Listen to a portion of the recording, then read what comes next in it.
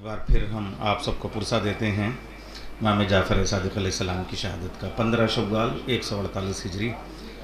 خدا لعنت کرے منصور دوانقی پہ۔ ویسے تو اس کا بھائی جو آبا صفا ہے، اس نے ہی ان کے قتل کی سازش شروع کر دی تھی۔ بلکہ وہ کیا، یہ تو محمد باقر کے ساتھ بھی تھا۔ اور پھر وہ ان کے ساتھ کربلا میں جو ستم ہوا۔ تو یہ جو اہل بیت علیہ السلام پہ مظالم کا سلسلہ ہے، یہ تو رسول کے زمانے سے بلکہ شیب ابی طالب سے ہی شروع ہے اور یہ اسی کی کڑی ہے۔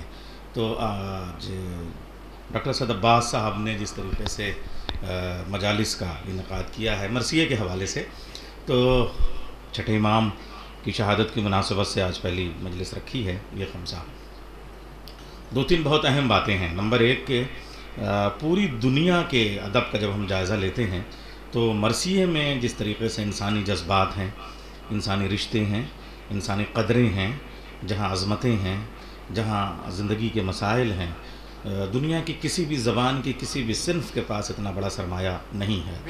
اگر آپ غزل کی بات کریں تو اس میں صرف انسان ایک محبوب کی حیثیت سے سامنے آتا ہے۔ مصنوعی میں صرف شہزادہ اور راجکمار اور راجکماری کے حوالے سے سامنے آتا ہے۔ ربائی میں صرف ایک پند اور نصیحت کرنے والا انسان ہمارے سامنے آتا ہے۔ قطعات میں صرف زندگی کا کوئی ایک پہلو ہمارے سامنے آتا ہے۔ آپ نظم کی بات کریں گے تو اس میں بھی صرف انسان کا جو داخلی رجحان ہے وہ سامنے آتا ہے۔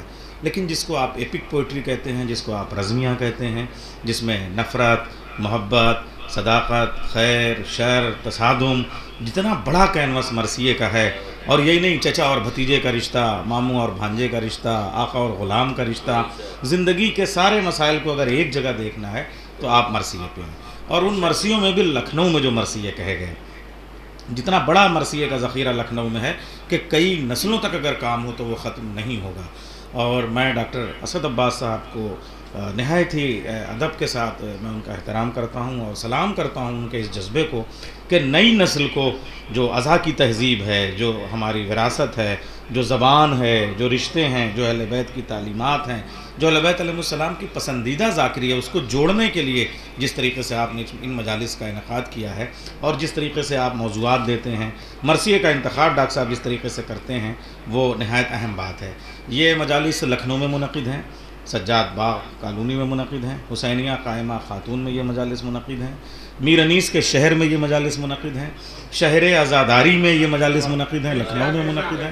اس لیے میں خدائے سخن میر انیس کے مصروں سے آج کی مجلس کا آغاز کرنا چاہوں گا۔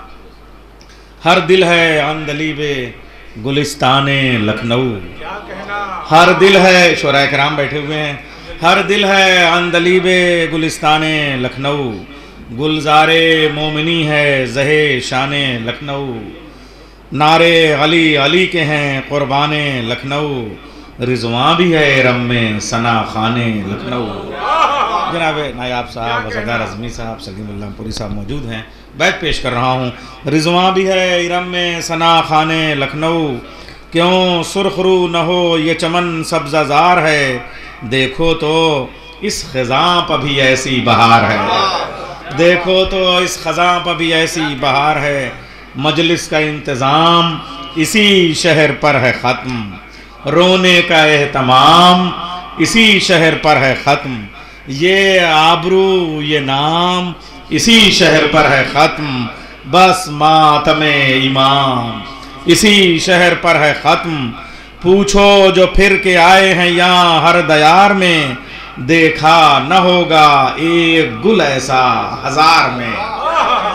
سلوات بھیجیں محمد والے محمد دیکھا نہ ہوگا ایک گل ایسا ہزار میں۔ اور یہ جو یوٹیوب چینل کے ذریعے سے ہماری آواز کا پھیلاؤ، پوری دنیا میں لوگ اس شہر ازا کی تہذیب کو دیکھ رہے ہیں۔ اور یہاں جو اہل ازا ہیں، ان کی خصوصیات میرا نیز بیان کرتے ہیں کہ فرش ازا کیسا قدریں سکھاتا ہے، کیسا رشتوں کا رکھ رکھاؤ بتاتا ہے۔ زی علم، نقطہ سن، سخن فہم زی شعور زی قدر زی وقار، فروتن، سخی، غیور نخوت نہ خود سری نہ تکبر، نہ مکر زور وزیں درست، قلب صفا اور رخوں پہ نور۔ وزیں درست، قلب صفا اور رخوں پہ نور۔ کیوں کرنا؟ فرش و عرش پہ یہ نیک نام ہوں۔ آقا حسین سا ہو تو ایسے غلام۔ آقا حسین سا ہو تو ایسے غلام۔ محمد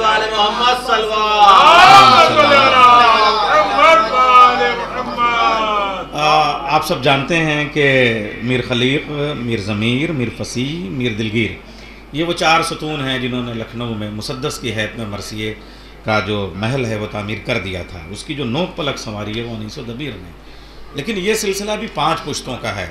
میر امامی میر زاہد اور میر حسن اور میر خلیق اور ان کے بیٹے پھر میر انیس۔ تب جا کے وہ کہتے ہیں کہ عمر گزری ہے اسی دشت کی سیاہی میں۔ پانچویں پشت ہے شبیر کی مداحی میں۔ تو میر خلیق کے جو بیٹے ہیں وہ میر انیس اور میر مونس کے بیچ میں ان کے صاحبزادے ہیں میر انس۔ میر انس کے بیٹے ہیں میر وحید۔ آج میر وحید کا لکھا ہوا مرثیہ پڑھا جانا ہے۔ میر وحید زندگی نے ان کے ساتھ وفا نہیں کی، بلکہ میں کہوں کہ عمر نے ان کے ساتھ وفا نہیں کی۔ اور پینتالیس برس میں وہ اللہ کو پیارے ہو گئے۔ مگر اس پینتالیس برس میں جو انہوں نے تھوڑا ان کی صحت اور جو گھریلو معاملات ہیں، سولہ برس کی عمر میں پہلا مرثیہ کہہ لیا تھا۔ مگر کچھ ایسی باتیں ہیں کہ انہوں نے پھر بیچ میں سلسلہ روک دیا۔ مگر اس پینتالیس برس میں کم سے کم ان کے پینتیس مرثیے تو موجود ہیں۔ اور جو مرثیہ پڑھنے والے حضرات ہیں وہ سب جانتے ہیں کہ پوری دنیا میں جہاں جہاں مرثیے پڑھے جاتے ہیں، مرثیہ خان کے بستے میں اگر میر وحید کا مرثیہ نہیں ہے تو وہ بستہ نامکمل مانا جاتا ہے۔ آفتاب مرثیہ خانی تشریف لا رہے ہیں۔ اور آج حیدر نواب جعفری صاحب کے شاگرد آ، اون صاحب جو اسی لکھنؤ کے چشم و چراغ ہیں اور لیکن یہ فخر کی بات ہے کہ لکھنؤ اپنے چراغوں کو دوسرے آسمانوں پہ چاند اور سورج کی طریقے سے بھیجتا ہے۔ وہ بنگلور کی سرزمین پہ اس وقت جو ہیں وہ ایک بینک میں جاب میں ہیں۔ ظاہر سی بات ہے کہ جو مشق اور جو ریاض لکھنؤ میں ممکن ہے دبستان لکھنؤ میں وہ وہاں پہ نہیں ممکن ہے۔ مگر پھر بھی وہ حضرت نواب جعفری صاحب کے شاگرد ہیں اور انہوں نے مرثیہ بڑا سخت منتخب کیا ہے۔ دیکھیے خوبی یہ ہے میر وحید کی کہ میر وحید پینتالیس برس کی عمر میں انتقال کر جاتے ہیں۔ مگر میر وحید کے جتنے بھی مرثیے ہیں، سوا دو سو حسن سعید صاحب تشریف لا رہے ہیں، ان کے پاس بھی میر وحید کے مرثیے ہیں اور خوب خوب پڑھتے ہیں اور کل انشاءاللہ ہم حسن سعید صاحب کو سماعت کریں گے، یہ شرف ہمیں حاصل ہوگا۔ تو میر وحید کا کوئی بھی مرثیہ مجھے لگتا ہے دو سو، سوا دو سو بند بلکہ وہ جو ان کا شاہکار مرثیہ ہے کہ پائے کہ حضرت زینب نے بھی نایاب پسر، گلشن مرتضوی کے گل شاداب پسر، یہ تین سو چار سو بند پہ تقریباً ہے۔ تین سو تینتیس بند پہ، دیکھیے ساڑھے تین سو کے آس پاس۔ اور اس مرثیے کی تاریخ یہ ہے کہ خود میر وحید جو ہیں، وہ اپنی زندگی میں یہ مرثیہ کبھی پورا پڑھ نہ پائے۔ اور اس مرثیے کی مقبولیت کا یہ عالم تھا کہ جو فرش اعضاء پہ آنے والے صاحب نظر سامعین تھے اور جو میر مجلس حضرات تھے، وہ بار بار ان سے کہتے تھے کہ آپ یہ مرثیہ پڑھیے مگر وہ اس کیفیت کا ہوتا تھا کہ وہ سو سوا سو بند پہ مجلس پوری ہو جاتی تھی اور وہ مکمل کر لیتے تھے مجلس۔ تو ان کے انتقال کے بعد خود میر صاحب نے تین مجالس کا انعقاد کیا اور اس میں یہ مرثیہ ان سے پڑھوایا تھا حضرت عون محمد کے حال کا۔ آج اون صاحب، حیدر نواب جعفری صاحب کے شاگرد ہیں، مگر انہوں نے جو مرثیہ منتخب کیا ہے، میر وحید کی خوبی یہ ہے کہ جو چہرے کے حوالے سے فروغ دیا ہے۔ انیس نے بھی چہرہ کہا، لیکن جو اس سلسلے میں چہرے کو فروغ دیا، اس میں عروج پر ان کے مرثیوں کا چہرہ ہے، زبان و بیان کی خوبیوں پہ ان کے مرثیے کا چہرہ ہے صنائع اور بدائے پہ اور علم کلام پہ ان کے مرثیوں کا چہرہ ہے، اور قلم کے موضوع پہ تو ان کے کئی مرثیوں کے چہرے ہیں۔ اور خود یہ حضرت عون محمد والا جو ہے، اس میں بھی قلم ہے، اور اور حضرت عباس کے حال کا ایک مرثیہ ہے اس میں بھی قلم ہے۔ لیکن آج جو مرثیہ قلم کے حوالے سے ہے اس کا مطلع جو ہمارے عون صاحب ابھی آپ کے سامنے پیش کریں گے اور وہ ہے کہ ایک ان کا مرثیہ ہے اے قلم دامن کاغذ پہ گوہر ریز ہو پھر۔ لیکن آج جو قلم کے حوالے سے آ، مرثیے کا چہرہ ہے اس کا مطلع کا پہلا مصرع ہے ہے ناظم قلم روے مضمون قلم میرا۔ تو اس میں بھی یہ کہنے کا ہے کہ جو سوا دو سو بند ہیں ان میں بڑے پڑھت کے بند ہیں، جس میں مصرے جو ہے وہ چوست درست اور پڑھنے میں بھی لطف آتا ہے۔ اور میں آپ کو بتاؤں کہ چونکہ میر وحید کی قبر پہ حاضری کا شرف جو ہے وہ طالب علمی کے زمانے پہ ہمیں رہا ہے۔ خدا سخن میر انیس کی قبر پہ ہی نہیں، بلکہ ان کے جو اسلاف ہیں اور اسبات ہیں اور اخلاف ہیں، ان کی قبروں پہ بھی جب حاضر جائیے ہوئیے تو پڑھنے کا شعور مانگیے، آپ ان سے لکھنے کا شعور مانگیے۔ تو میر وحید جو ہیں وہ سلطان مدارس سے جب آپ باورچی ٹولے کی طرف بڑھیے اور وہ جو ہمارا چودھری گڑھیا ہے، تو وہاں پہ جو مقبرہ ہے میر میر مہدی حکیم صاحب کا، تو اس مقبرے میں جو ہے وہ میر انس بھی وہیں پہ آرام فرما ہے اور میر وحید بھی وہاں پہ آرام فرما ہے۔ یہ جو آقا میر کی ڈوڑی ہے، یہ بہت بڑا حصہ لکھنؤ کا تھا۔ بہت کچھ تاریخ کے حوالے ہوا۔ جناب مولانا حسن فضل صاحب تشریف لے، ہم ان کا استقبال کرتے ہیں۔ تو ہم لوگ سلطان مدارس میں جب ہوتے تھے، تو وہ جو وہاں مقبرہ ہے، وہاں جو مسجد ہے، وہاں پہ ہم لوگ نماز پڑھنے کے لیے جایا کرتے تھے۔ تو کبھی کبھی اس مقبرے کے جو مرحومین ہیں وہاں ان کے پاس چلے جایا کرتے تھے۔ تو میر وحید کا مرثیہ جو ہے، وہ آج آپ سنیں گے۔ اور اس میں پڑھت کا بند میں آپ کو ایک آپ کے سامنے پیش کرتا ہوں، کہ حضرت حر کے حوالے سے۔ کیا باتیں ہیں؟ دیکھیے، پڑھنے کا تو اب کیا کیا بند انہوں نے انتخاب کیے ہیں بھائی؟ اب یہ تو ان کے ہمت اور حوصلے کی بات ہے کہ بنگلور میں ہیں اور وہاں سے بیٹھ کے انہوں نے یہ انتخاب کیا۔ مگر ہمیں امید ہے کہ، مگر ایک بند تو میں اس کا پڑھتا ہوں، جب حضرت حر جو ہے وہ فوج یزید کو چھوڑنے لگتے ہیں۔ تو جو مکالمہ ہے، اور مکالمے میں جو پڑھت کا انداز ہوتا ہے، وہ پڑھنے کا حق تو انہیں کو اس لیے میں صرف پڑھ رہا ہوں۔ جو مرثیہ خانی ہے وہ تو یہی کریں گے۔ اور اس یا مکر کی باتیں ہیں کیا ضرور؟ ممکن کبھی نہیں کہ قمر سے جدا ہو نور۔ پھول خوشبو سے جدا نہیں ہوتا۔ ہاں، چاند سے چاندنی نہیں جدا ہوتی، سورج سے کرنیں نہیں جدا ہوتی شہد سے مٹھاس نہیں جدا ہوتی، دل سے دھڑکنیں نہیں جدا ہوتی، سینے سے سانسیں نہیں جدا ہوتی، آنکھوں سے بصارت نہیں جدا ہوتی، ذہن سے فکر نہیں جدا ہوتی، ہاتھ سے جنبش نہیں جدا ہوتی، یہ جدا ہو جائے تو موت ہے۔ تو حضرت حر کہتے ہیں، اور اسیا مکر کی باتیں ہیں کیا ضرور؟ ممکن کبھی نہیں کہ قمر سے جدا ہو نور۔ بتلا تو، اندلیب ہے کیوں کر چمن سے دور؟ جوہر جدا ہو تیغ سے کس طرح بے شعور؟ جوہر جدا ہو تیغ سے۔ جوہر جوہر اور تیغ کا رشتہ دیکھیں۔ جوہر جدا ہو تیغ سے۔ میں میں مرثیہ خانی کے لیے یہ موضوع چھوڑتا ہوں، وہ پڑھیں گے۔ مگر ایک تب مبصر کی حیثیت سے جب تبصرہ کریں گے تو مصرے کی خوبی بھی دیکھیں کہ کیا کیا مصرے رکھیں جوہر جدا ہو تیغ سے۔ کس طرح بے شعور؟ رضوان کا دل ہٹے گا نہ جنت کی دید سے۔ آیت جدا نہ ہوگی کلام مجید سے۔ آیت جدا نہ ہوگی کلام۔ کیا رشتہ بتایا قسم خدا کہ ایسا لگ رہا ہے کہ ہر بھی خاندانی ہے کہ آیت جدا نہ ہوگی کلام مجید سے۔ اور پھر جب وہ جنگ کی طرف بڑھتے ہیں تو بیت دیکھیں آپ کہ بے خون بہائے، چین نہ۔ او بد دیکھے نگاہ بس سے تو آنکھیں نکال لوں تو یہ جو ان کا انداز ہے خاص طریقے سے پڑھنے کا، امیر وحید کے مرثیے پڑھنے میں بڑا لطف دیتے ہیں۔ اور یہ بھی خوبی ہے کہ جو کسی بھی ایک کلام میں ایک مطلع، حسن صحیح صاحب، آپ سب جانتے ہیں کہ مطلع پڑھنا بھی ایک ہنر ہے اور مطلع کہنا بھی۔ ساری توجہ کو سمیٹ لینے کا ہنر اگر کسی کے پاس ہے، تب تو وہ مطلع کہے، تاکہ سامعین وہیں پہ ایک فضا بن جائے۔ تو اس میں جو جنگ کے کی طرف جب وہ جاتے ہیں حضرت حر کی جنگ کی طرف تو چار مطلے تابڑ توڑ انہوں نے کہے ہیں۔ اور چاروں مطلوں کے میں صرف ایک ایک مصرے آپ کے سامنے پڑھوں۔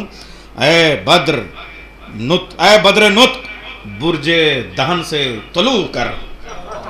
آپ دیکھیں یہ یہ مطلع مطلے کا۔ آپ چھو مصرے جب سنیں گے وہ کون سا مطلع پڑھتے ہیں؟ بھائی اون صاحب بھائی ظاہر سی بات ہے ایک گھنٹے میں کیا کیا پڑھا جا سکتا ہے؟ سوا دو سو بند ہیں۔ مگر جو پڑھیں گے ہیں۔ اے زبان ہاں اے زبان تیز۔ ہاں اے زبان تیز بیاں آج سیف ہو۔ یہ جنگ کی طرف مطلع جا رہا ہے۔ دیکھیے یارب میرے سخن کو گلے آفتاب کر۔ یہ یہ یہ کے مصرے ہیں، پہلے مصرے۔ یارب میرے کلام کو حاصل ہو برتری۔ تو یہ جو خدای سخن میرنیس کی زبان اور بیان کی وراثت ان کے پاس ہے، وہ اپنے آپ میں بڑی اہم ہے۔ تو آپ دیکھیں گے کہ ان مرثیوں کی جو خوبیاں ہیں، اور خاص طریقے سے میر وحید نے جو میر ہنس کے حوالے سے جو یہ میر خلیق کا خاندان ہے، اس کو کیسے انہوں نے آگے بڑھایا ہے۔ اور ہمارے اس لکھنؤ میں جو مرثیہ پڑھنے کا انداز ہے، اور میں آج پہلے دن بتا دوں کہ یہ صرف دنیا کی کسی صنف میں پڑھنے کا بھی یہ تقدس نہیں ہے۔ نہ لکھنے کا، نہ سننے کا، نہ پڑھنے کا۔ وہ جو میر صاحب نے کہا ہے کہ اس خزاں میں بھی ایسی بہار لکھنؤ میں ہے کہ یہاں مرثیہ خان جس احترام کے ساتھ آتا ہے، اس کے پیچھے بستہ لیے ہوئے ایک صاحب آتے ہیں اور جب ممبر پہ بیٹھتے ہیں، جیسا میرے میر صاحب کے زمانے میں ہوا کرتا تھا، اور وہ بڑے ہی سمک انداز میں، بڑی لطافت کے ساتھ دونوں پیر جما کے پیروں کے بیچ میں نہ کچھ زیادہ فاصلہ، نہ کچھ کم فاصلہ، بالکل حد ادب کے ساتھ وہ بیٹھ جاتے ہیں۔ اور اس کے بعد میں ایک نگاہ صرف سامعین پہ ڈالتے ہیں، اور وہ جو ایک نگاہ ہے، وہ سامعین کا احاطہ کر لیتی ہے۔ اور ایک نگاہ ڈالنے کے بعد میں جب وہ انداز سے کہتے ہیں فاتحہ، اور اس کے بعد میں اس تلاوت سے اور برکت سے جو خدا سے رشتہ جوڑتا ہے اور دنیا سے رشتے کٹ جاتے ہیں فرش اعضا سے، اور اس کے بعد میں وہ مرثیہ خان دو ایک ربائیاں اور پھر سلام کے چند شعر پیش کرتا ہے۔ اور پھر جس کے حال کا، اب یہ تو خیر چھٹے امام کی آج مجلس ہے، اور پھر بھی اس سزا خانے میں سارے تبرکات ہیں، اس کی اپنی ایک تہذیب ہے۔ ورنہ میر صاحب کے زمانے میں کہ یہ بھی روایت رہتی تھی، اور ہے بھی، اور عشر محرم میں تو خاص طریقے سے کہ اگر حضرت اون محمد کے حال کا مرثیہ ہے تو ان کے تابوت رکھے ہوئے ہیں۔ یا حضرت عباس کے حال کا ہے تو ایک پرچم اور ایک مشکیزہ سجا ہوا ہے۔ یا حضرت علی اکبر کے حال کا مرثیہ ہے تو ان کا تابوت ہے۔ تو یہ رعایتیں لکھنؤ میں جو ہیں، وہ لکھنؤ کی جو تہذیب ہے، وہ اپنے آپ میں ایک مثالی تہذیب ہے۔ اور یہاں کے جو حضرات مرثیہ پڑھتے ہیں، اور یہاں کے جو مصر، مرثیوں کی زبان ہے، اس میں جو گھلاوٹ ہے، جو چاشنی ہے، اس میں جو دیر پا اثر اندازی کی کیفیت پائی جاتی ہے، وہ ہمارے مرثیہ نگاروں کے یہاں بھی موجود ہے اور مرثیہ پڑھنے والے حضرات کے یہاں بھی موجود ہے۔ اب دیکھنا یہ ہے کہ انہوں نے بہت سخت مرثیے کا انتخاب کیا ہے۔ اس میں بندشیں بہت چست ہیں اور اس میں جو اضافتیں ہیں واو عطف ہے اور اس کو جس طریقے سے پیش کرنے کا ہنر ہے۔ ٹھیک ہے بھائی، ایک بڑا پتھر ہے جو اٹھا لیا ہے۔ مگر بھائی حیدر نواب جعفری صاحب کے شاگرد ہیں۔ تو یہ مشکل پسندی کیوں نہیں آئے گی بھائی؟ تو ہمیں امید ہے کہ آج جو ہے وہ ایک یادگار مرثیہ، آپ سنیں گے یادگار انداز میں، تاریخی مجلس ہوگی یہ پہلی سزا خانے کی، دو ہزار انیس کی۔